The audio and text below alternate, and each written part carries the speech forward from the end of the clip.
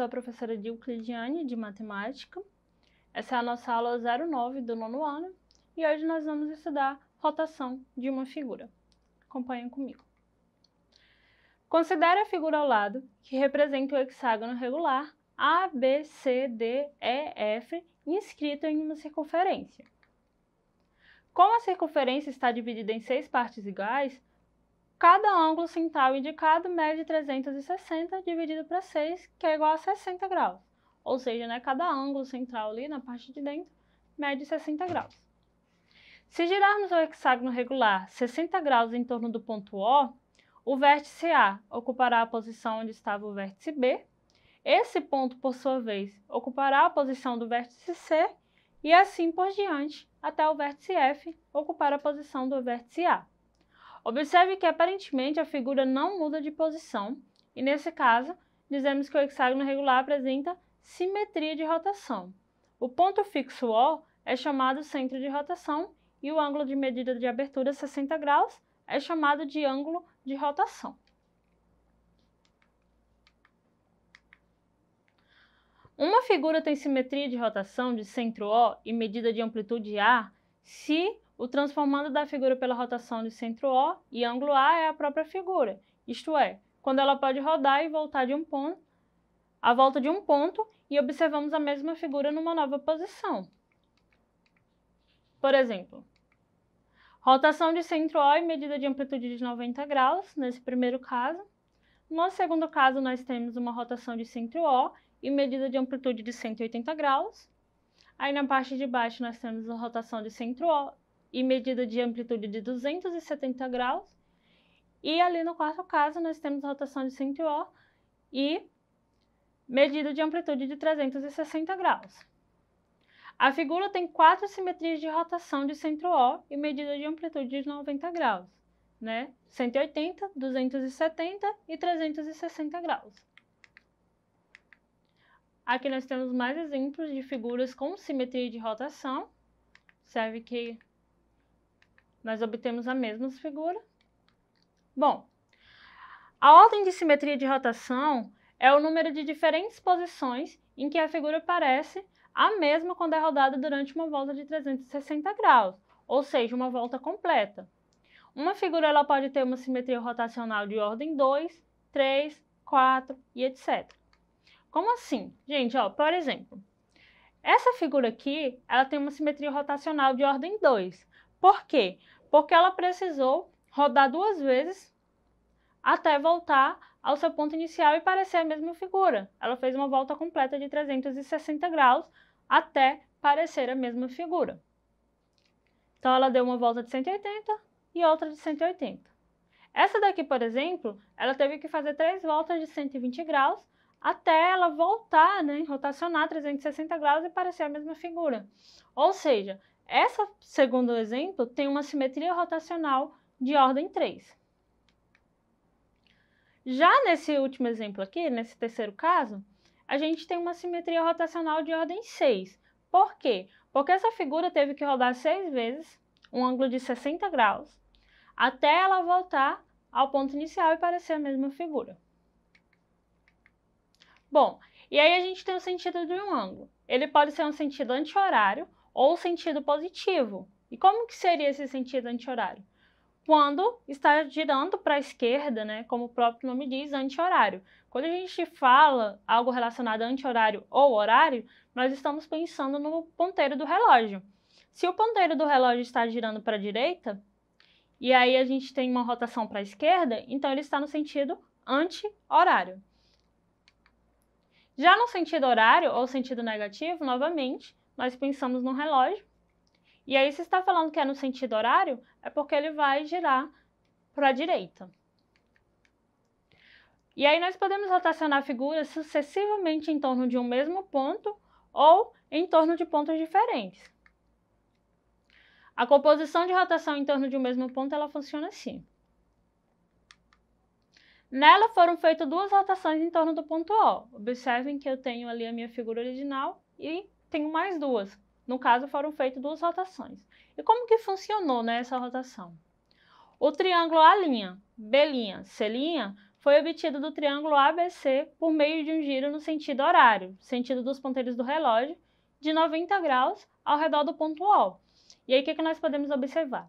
O meu triângulo original, o meu primeiro triângulo, é aquele que está ali ao meio, A, B, C. E aí eu fiz uma rotação em torno do ponto O, e 90 graus, no sentido horário, e aí eu obtive o meu triângulo A', B', C', que é aquele que está em cima. O triângulo A, triângulo A duas linhas, B duas linhas e C duas linhas, ele foi obtido do triângulo A', B', C' por meio de um giro, no sentido horário, de 180 graus ao redor do ponto O. Gente, então o que, que eu fiz ali para obter esse meu terceiro triângulo que está na parte de baixo? Eu continuei rotacionando, girando o meu triângulo que estava ali em cima, no sentido horário. Observem que, se eu tivesse digamos assim, rotacionado eles apenas 90 graus, ele teria parado ali bem ao meio, do lado direito do meu original. Só que aí eu fiz um giro de 90 e depois mais um giro, que deu 180 graus, e aí ele foi parar ali na parte de baixo. E aí eu também tenho uma composição de rotações em torno de pontos diferentes. Por exemplo, observe a figura. Nela foram feitas duas rotações sucessivas, primeiro em torno do ponto P e em seguida em torno do ponto Q. Ali eu tenho a minha figura do lado esquerdo, na parte de baixo, o meu triângulo ABC, que é o original, e a partir daí eu vou fazendo as minhas rotações. O triângulo A', B', C' foi obtido do triângulo ABC por meio de um giro, no sentido horário, de 90 graus ao redor do ponto P. Então, eu tinha ali um ponto P. Observem que eu sempre tenho um ponto de rotação. Eu sempre estou rotacionando ao redor de algum ponto. E aí eu tinha o ponto P, rotacionei o meu triângulo 90 graus no sentido horário, e aí eu obtive ali na parte de cima o meu triângulo A', B' e C'.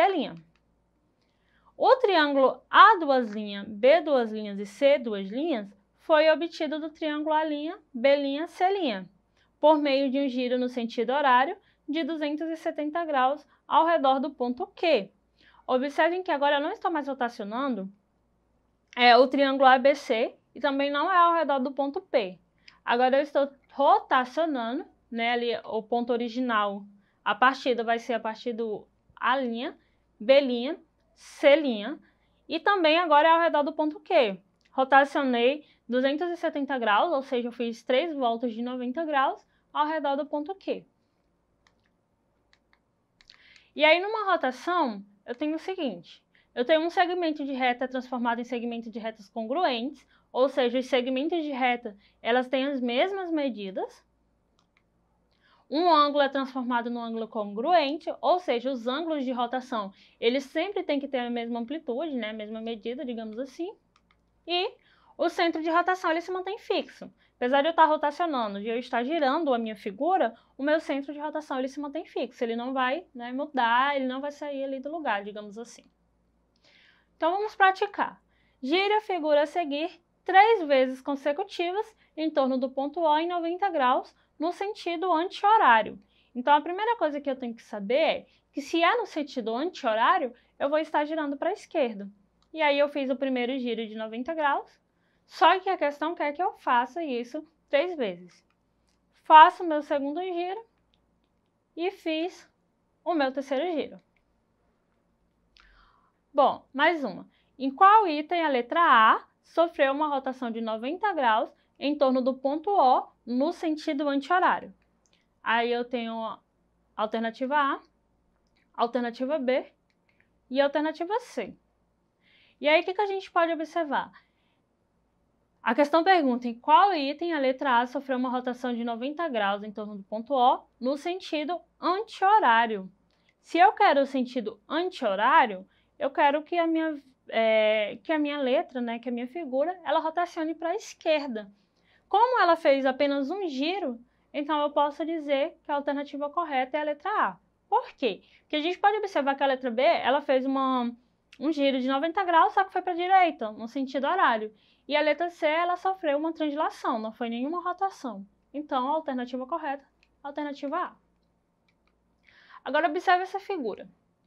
Se ela sofrer um giro de 180 graus no sentido horário, sua imagem será letra A, letra B ou letra C. Bom, aí eu já tenho que lembrar, se está fazendo uma rotação no sentido horário, é porque a minha figura ela está girando para a direita. Né? Então, pense comigo. Se ela tivesse girado 90 graus para a direita, ela estaria ali como alternativa A. Agora eu pego essa alternativa A e giro mais 90 graus. E aí eu vou ter a alternativa correta, é a nossa alternativa C. Bom, lembre-se, hoje nós estudamos sobre as transformações isométricas ou simetrias da rotação, vimos suas características e exemplos de imagem relacionada a cada uma delas. E hoje nós ficamos por aqui. Se você quiser rever a nossa aula, basta acessar a plataforma Eduque. E até as próximas aulas, bons estudos!